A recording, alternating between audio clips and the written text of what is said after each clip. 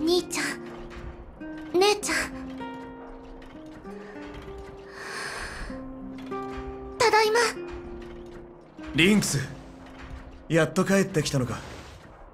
ん？目が赤くなっているが何かあったのか？本当に空気が読めないんだから弟は。おかえりリンタ